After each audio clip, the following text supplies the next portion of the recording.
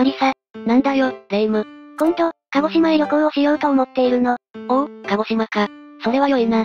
鹿児島といえば桜島や薩摩芋、温泉、薩摩藩などが有名だよね。そのような観光スポットを回ろうと思うんだ。いい考えだな。だが、レイムよ。鹿児島について他に知っていることはあるかい？むむ。先ほど言ったものぐらいしか、他はあまり知らないな。なら、せっかく鹿児島に行くなら、鹿児島について知ってから行った方が楽しめると思わないかい？言われてみれば。じゃあ、今回はそんなレイムのためにも、鹿児島の地形について紹介していこう。その中には有名な桜島などもあるぞ。ちなみに、鹿児島には多くの島もあるが、今回は主に本土のみを取り上げるぞ。島については、別でいずれ動画にできればと思っているぞ。島も多くあるんだね。そして、これが鹿児島の地図なのだが、これを見てどう思うかい？むむ、そうだな。真ん中に湾があって、二つの半島があるんだね。特徴的な形をしてんだな。そうだね。そして、真ん中のここにかの有名な桜島があるんだ。位置からしても、まさに鹿児島を代表する島だなぁ。そして、他にも鹿児島には、魅力的な地形が多くあるんだ。楽しみになってきたわ。鹿児島の地形を知って、ぜひ鹿児島旅行に行きたくなってきたわ。それはよかった。ちなみに、今回は鹿児島本土全体の地形を見ていくぞ。各地形や鹿児島の地質については、また次回以降に動画にするつもりだ。今回は本土部分を見て、島や地質などはまた今度ってことだよね。そういうことだ。では、早速始めていこうか。それじゃあ、ゆっくりしていってね。広域的に見た鹿児島県。では、最初に鹿児島の概要として、その面積や人口、気候、都市、歴史などについて話していくぞ。まずは鹿児島を広域的に見てみよう。ということで、地図を変えるぞ。ええおお、これは九州の空撮写真だな。そうなんだぜ。この鹿児島県は本土の最南端にある県で、九州の南部に位置する県なんだ。北の宮崎と熊本県と接する県なんだ。そして、その島も含めた南北の距離は約600キロで、本土以外にも約600個の島があり、多くの島を含む県でもあるんだぜ。その中には種子島や屋久島などもあるんだぜ。ぜひ行ってみたい島だよね。一方で、その場所としては、東京よりも、韓国や中国の方が近い位置となっている。そして、この鹿児島の面積は、約9187平方キロメートルで、これは全国で10番目に大きな県で、東京都の約4倍の大きさとなっている。ちなみに西日本においては、一番大きな都道府県となっているぞ。大きさでは上位に入るわけね。そうなんだぜ。一方で、人口は約154万人で、全国では24位となるんだ。ちなみに北の熊本は約170万人で全国で23位。沖縄は約140万人となり、全国で25位となっている。全国では真ん中あたりの人口なんだね。そして、先ほども言ったが、この鹿児島には多くの島がある。その島々は主に南にあるんだ。では、主な島を地図で見てみよう。え？えおお、地図が変わったな。ここに本土があるのだが、その南に島が飛び飛びであるんだ。その中にはここの種子島や屋久島、奄美大島などがあり、他にも、徳之島、沖永良部島、与論島などがあり、本土の西には甑島列島があり、北部には長島などがあるんだ。屋久島や種子島はここにあるんだ。では、次に、この鹿児島の気候を少し話しておこう。鹿児島って暖かいイメージがあるなぁ。そうだね。けれどもこの鹿児島は南北に長いため、北と南で大きく気候が異なるんだ。例えば、県北部の伊佐市の1月の平均最低気温は、氷点下1.2度となっている。これは山形県の酒田市とほぼ同じなんだ。へえ、寒いところもあるんだね。けれども、一方で県南部の指宿市の1月は、暖かい土地となっているんだ。南国のイメージはここからやってくるんだろうね。そうだね。そして、この鹿児島の気候は、亜熱帯と温帯にまたがっているんだが、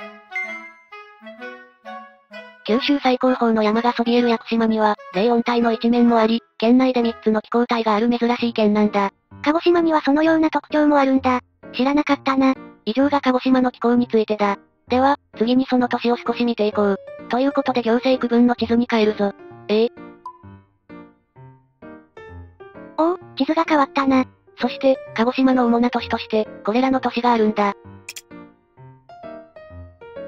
人口順に紹介していくと、県庁所在地がある鹿児島市が人口約60万となっている。鹿児島市ってここにあるんだね。その次に多いのが霧島市で人口が約12万人となっている。その次に人口約10万人の鹿屋市が1市。その次に薩摩仙台市が人口約9万人となっている。そして、愛良市が人口約8万人でその次に続くんだ。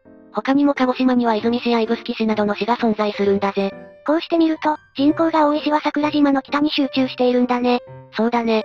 では、ここで上位3都市の鹿児島市、霧島市、鹿屋市について少し紹介していこう。まず鹿児島市だが、この市は南九州の主要拠点都市の代表格にあたる都市で、政治、経済、文化、交通の中心地でもあるんだ。そして、古くから島津家による、薩摩藩の城下町として栄えてきた場所なんだ。また、市街地から桜島を望む景観から、東洋のナポリと称されることもあるんだ。ぜひ行ってみたい場所だね。そして、その北東にあるのが県内で人口2位の霧島市だ。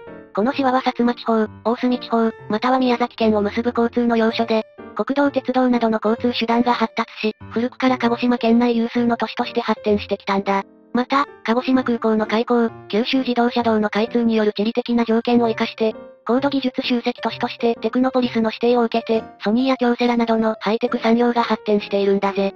そのような都市もあるんだね。一方で、人口第3位の鹿屋市では、温暖な気候と豊かな自然を生かした、農業畜産が盛んであり、黒豚やブロイラー、落花生、さつまいもなどが特産品となっている。また、この市には九州南部において、最も広いシラス台地である笠の原台地があるんだ。よく名前を聞くけど、シラス台地って何なんだろう？シラス台地のシラスという地質は、九州南部の火山活動による、噴出物でできた地質のことを指すんだ。鹿児島を語る上で外せない地質でもあるんだぜ。詳しくはこの、シラス台地とは何か？という動画をチェックしてみてね。ええー、気になるなぁ。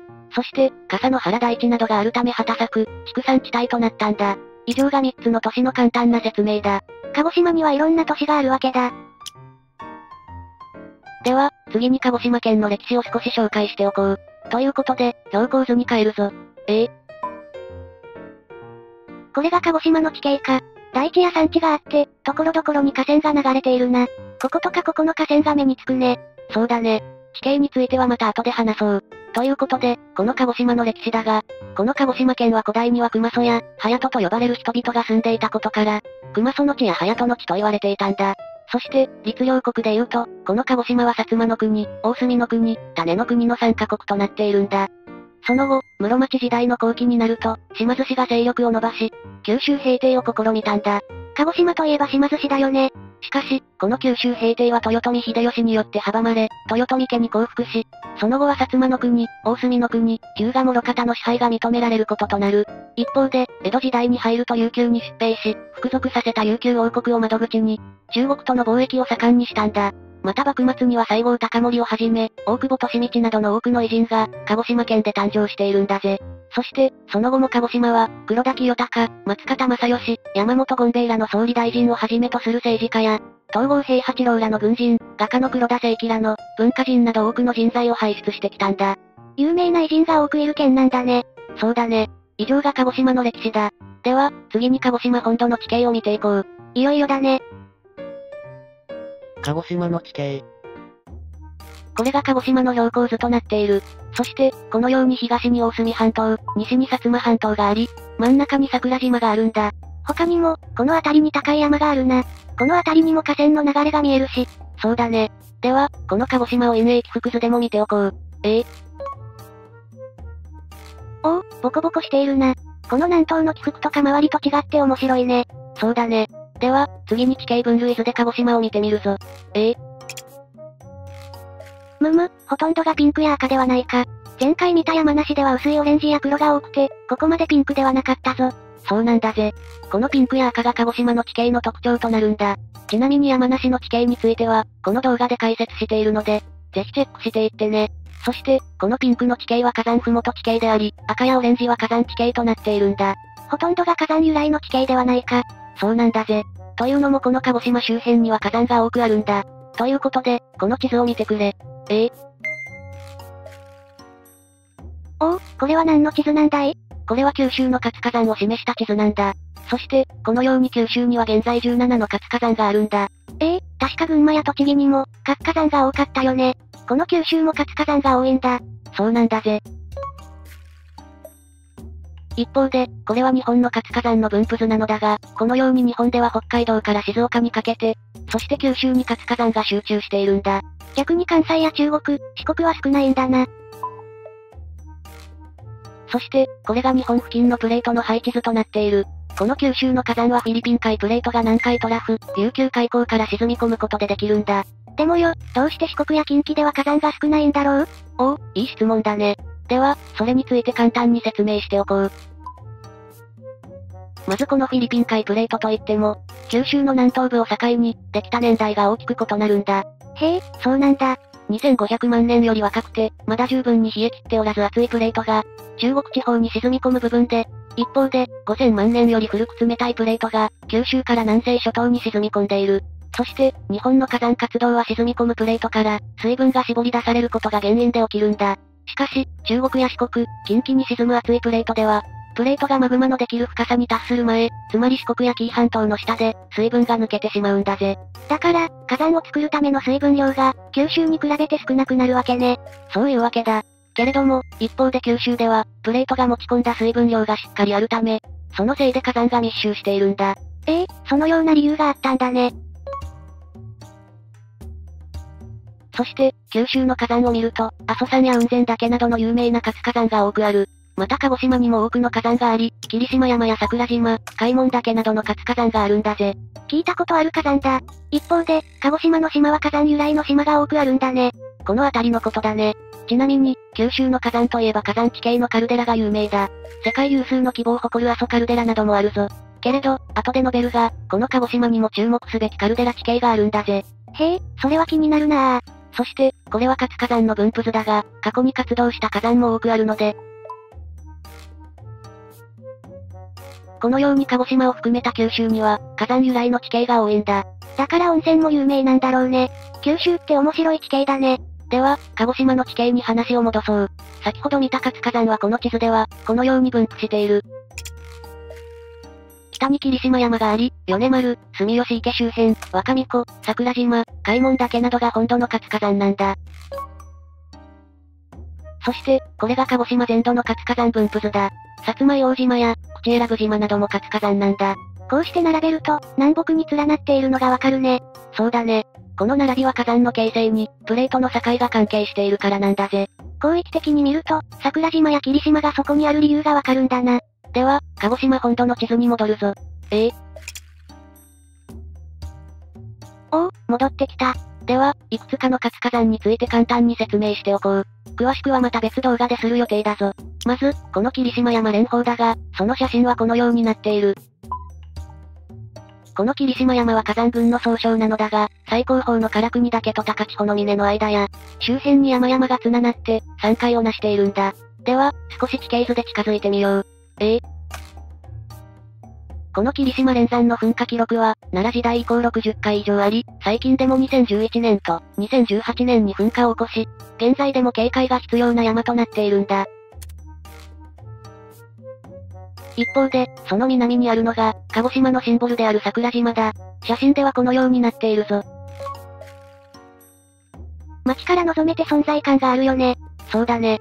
この山は北岳、南岳の二つが合わさる複合活火山で、今も噴煙を上げ、灰を降らせている世界的にも珍しい火山なんだぜ。また、その周辺には歴史に残る大噴火や、地形の変化などを学べる桜島ビジターセンターや、温泉施設もあり楽しむことができるんだ。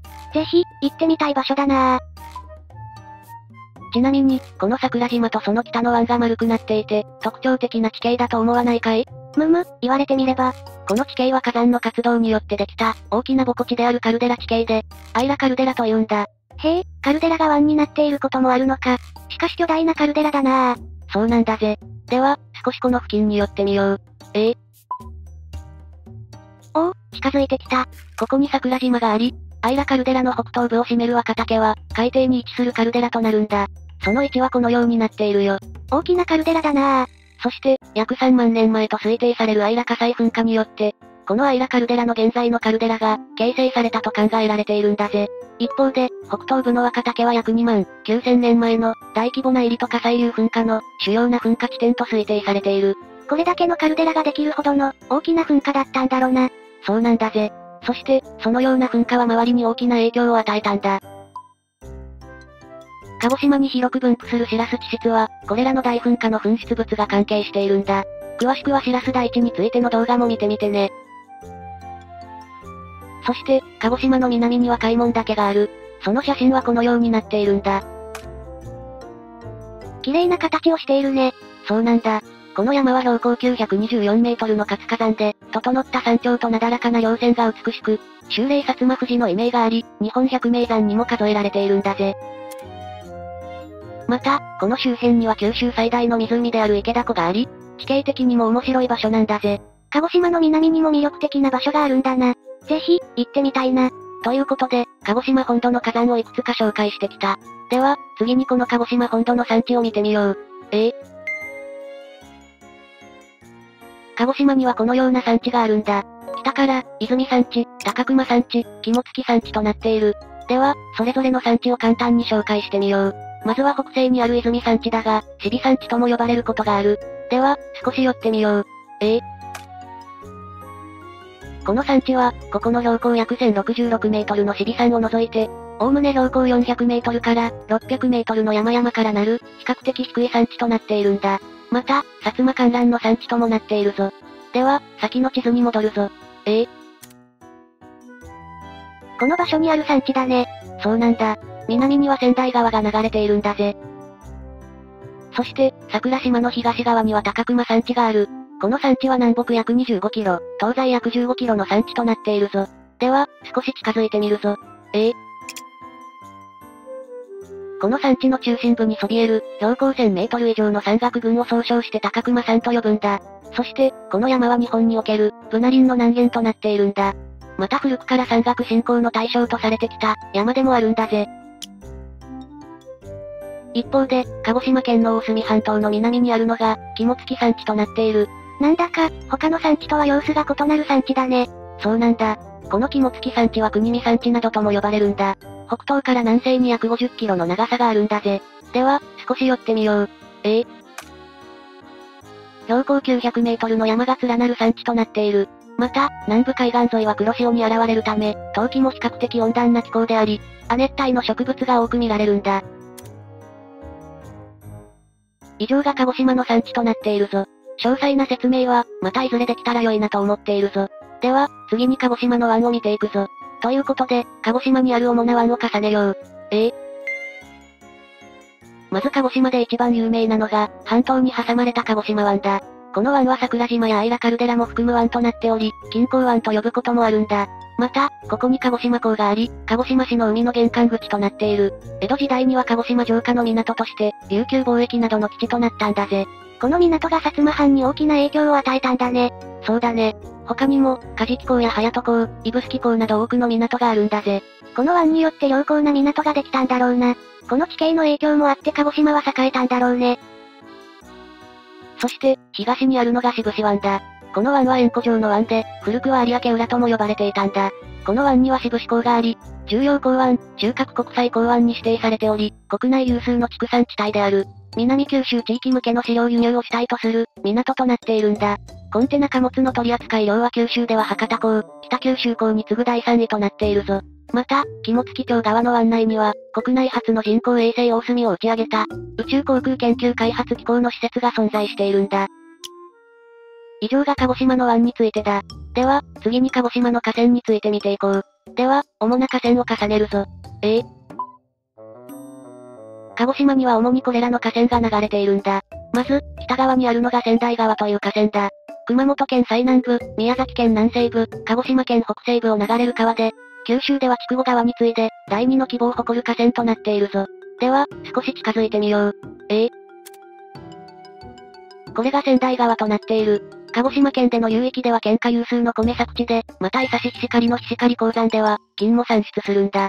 ちなみにこの菱刈鉱山は、現在日本国内で、商業的規模の創業が行われている、唯一の金鉱山なんだ。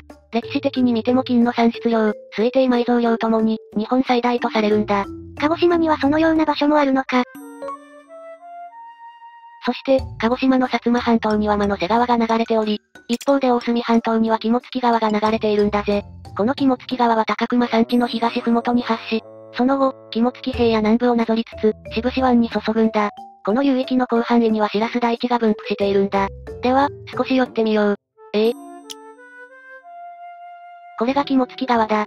流域下流の平地部では、河川水などを利用した稲作が営まれ、第一部では畜産や畑作が盛んとなっているんだ。また河口周辺は、日南海岸国定公園の一部に指定されるなど、豊かな自然環境に恵まれているんだぜ。この辺りは笠の原大地もあって、地形的に面白そうだね。そうだね。ということで鹿児島の河川については以上だ。では、次に鹿児島の平野や盆地を見てみよう。では、地図を重ねるよ。ええここに国部平野があり、霧島市の中心市街地を要しているんだ。そして、南には肝付平野があり、この平野北部は笠の原大地をはじめとする、白洲大地が分布しており、大地を隔てるように河川が流れているんだ。そして大地上には畑が広がっているぞ。一方、北のここには大口盆地が存在するんだ。では、少し近づいてみよう。ええこの盆地は140平方キロメートルの面積を持つ、鹿児島県内で最も広い盆地なんだ。その標高は100から200メートルにあり、海岸沿いにある平地と比較しても、年平均気温が1から1.5度低く、特に冬はさらに寒くなるんだ。そのため、鹿児島の北海道と呼ばれることもあるんだ。それほどまで寒くなるんだね。さすが盆地だね。そして、一方で鹿児島の北西には長島が存在する。これがその全体図だ。この島は天草諸島のうち、長島列島を構成する島の一つで、島の北西部は、リアス式海岸で多くの入り江があるんだ。そして、柑橘類などが特産となる島なんだぜ。ぜひ行ってみたいな。以上が鹿児島の地形となっている。すべてを重ねるとこのようになるぞ。ええこう見ても、面白そうな場所が多くあるな。そうなんだ。今回はこれらの場所を簡単に見てきた。しかし、各地形の詳細や、地質についてはあまり話せなかった。なので、各地形を詳しく見たり、鹿児島の地質を紹介する動画もいずれ載せようと思っているぞ。それは楽しみだわ。ということで、今回はここまでとしよう。今回の動画はいかがだったかな？鹿児島といっても、桜島や薩摩藩ぐらいしか知らなかったけど、地形が分かったことで、鹿児島を少し身近に感じれたぞ。早速鹿児島に行きたくなったわ。それはよかった。では、今回は以上としよう。また、本チャンネルでは次回以降も、地理に関する動画を載せていくので、ぜひチェックしていってね。それじゃあ、またねー。またねー。